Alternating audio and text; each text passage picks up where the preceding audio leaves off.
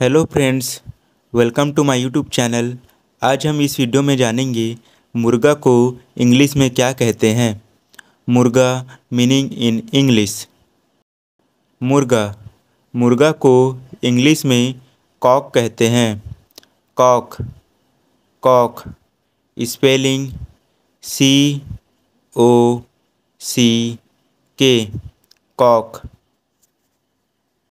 ऐसे ही बिना time pass के हिंदी और इंग्लिश शब्दों का मीनिंग जानने के लिए हमारे यूट्यूब चैनल को सब्सक्राइब करें और वीडियो अच्छी लगी होगी तो वीडियो को लाइक कर शेयर करें।